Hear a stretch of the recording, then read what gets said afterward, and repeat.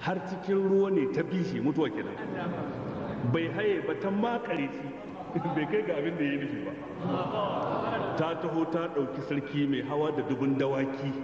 Ga dubun matsara a ɗaki. Yan security kenan ko? Ba hazazzare ido da bakin gilas. Inda ma ta fi ƙara auki. Ba ta bar fanko marar kwabo ba. Talakan da baya da ko kwabo ba ta ƙyale shi. Ta cira sama ta ɗaɗo ta buge shaho ya faɗo. A ruwa ta farma kwaɗo ƙarƙashin kada ƙarƙashin ƙasa in ta kurɗo ba ta ƙyale sari da kurkudu ba. Wai zace je da wama ka yi shekara biyar ka kara shekara biyar.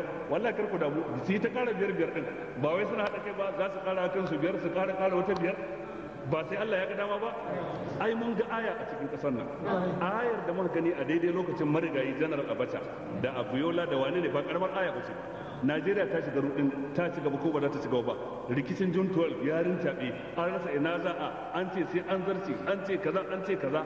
Sai ubangiji ta ala zo ya karɓi rayuwar general abacha Allah ci kansa. Ya karɓi rayuwar abiola shi ma musulmi ne Allah ci kansa. Shikenan ƙasar ta wuce kuma. Aka shiga wani sabon faifai na Najeriya. To shikenan sai ku ce sai ku wuce wuce mu gani. Ma'ana sai ka ce ku kuke kasafin shekarun? Ku ne kuke kasafin shekarun kenan ma ma'ana idan kun ga dama ku wuce in kun ga dama ku sauka wani ya hau kada Allah sa ku sauka ku ci gaba mu gani. Babu inda za ka kai. Thumma ansha'ana min ba'dihim karnan akarin wallahi dole sai mun bar wannan wurin wani ya zo ya zauna. Ko mun ci ko mun so dole limamin juma'an nan ya bar mimbarin nan wani ya hawo ta rana. Dole mai tafsirin kujerar nan da mai jan bakin ya sauka wani ne zai tafsirin wani zai ja bakin dole a kowane gidan gwamnati wanda yake cike fita wani ya ko ya ki ko ya so ko a kusa ko a nesa. Kuma za a yi wa mutum hisabin ya aikata. A tsawon mulkin ka mai ka gudanar.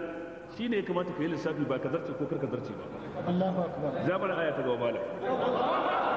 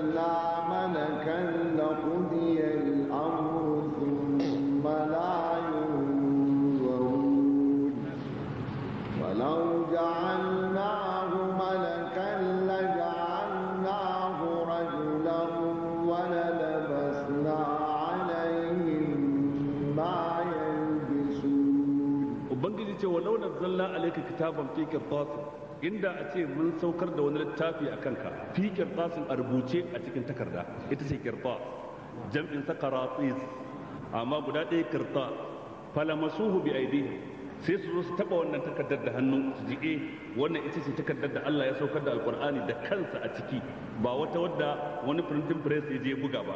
Allah ne ya saukar da takardar saukakkiya daga sama qur'anin ma saukakke daga sama haka takardar. Su kuma so su za su shafa da hannu su ji. لقال الذين كفروا والله لا وعد سوى كفر سنشي إن هذا إلا سحر مبين وأن سحرين. نعم. إن دام أن الله نعم. سوى كفر سنشي وأن ذات سحرين. وقالوا سورون كتوا لولا أنزل عليه ملك. ويدم بأسوك أسوك دا ملائكة أكان سبا. يبيشي ينا قسك تاشي إذن يأي وعد ملائكة سي صدقة. هاي قسك سنن ويسي الدام wai shaidar cewa shi manzo ne daga Allah su rinka yawo a kowane titi. Kawai wata rana a ga manzon Allah a wani titi cikin titunan Makka mala'ika Jibril na bin shi.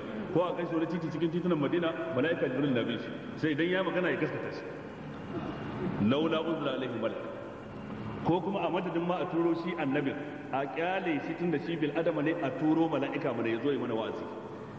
Sai Allah ce walau anzalna malakan inda za a ce mun saukar da mala'ika la qudiya al-amru to da an halakar da mutane gaba ɗaya. Na'am. Malamai suka ce me wannan aya take nufi? Malamai suka ce abin da ayar take nufi inda za a saukar da mala'ika ya zama annabi tun da shi halittarsa ta sha bamban da mu yan adam. Wani ganin mala'ika ma kawai sai ya mutu dan tsoro. Matukar zai zo a cikin siffarsa ta mala'ika ka gan shi zaka rikide zaka ji tsoro. Aljani ma wani da ya ga aljani sai ya hauka ce balantana mutum da ya ga mala'ika. Wani ya ga bera ya gudu wani ya ga hawainiya ya gudu balantana ya ga mala'ika.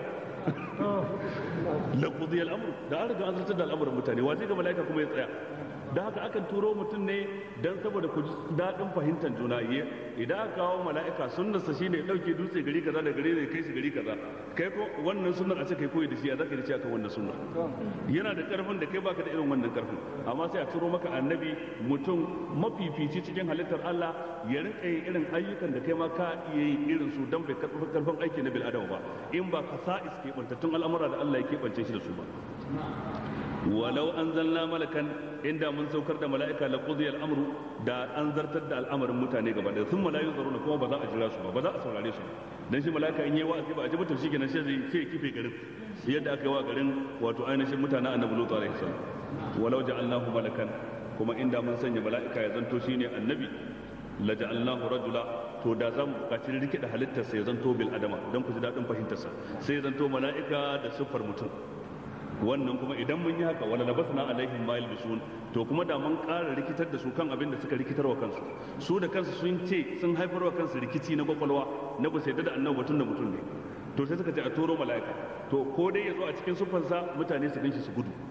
ko kuma ya zo a cikin siffar bil adama mala'ika da siffar mutum to kuma annabi za su ce to ai wannan ma mutum ne kaga shine da labasna alaihim mal irin rikicin da suka haifar wa kansu to kuma mun ƙara haifar musu da shi kenan tunda mun rikida halittar mala'ikan ya zanto mutum na'am sai Allah ya ولقد استهزئ برسل من قبلك فحاق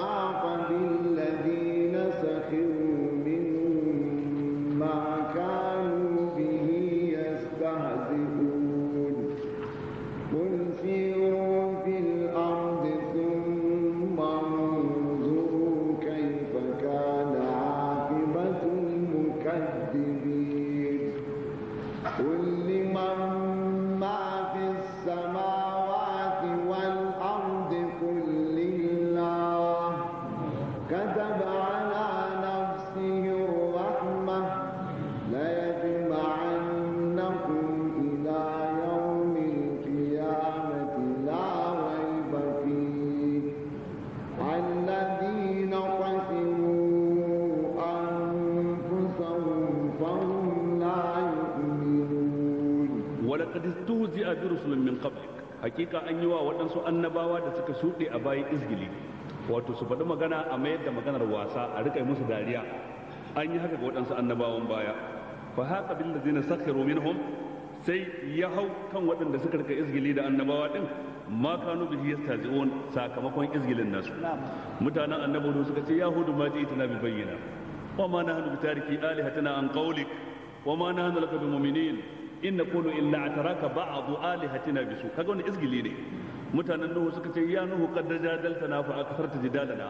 Fa atina bima ta'iduna in kunta min as-sadiqin mutanen annabi shabu suka ce ma nafqahu kathiran mimma taqul. Wa inna lanaraka fina da'ifa.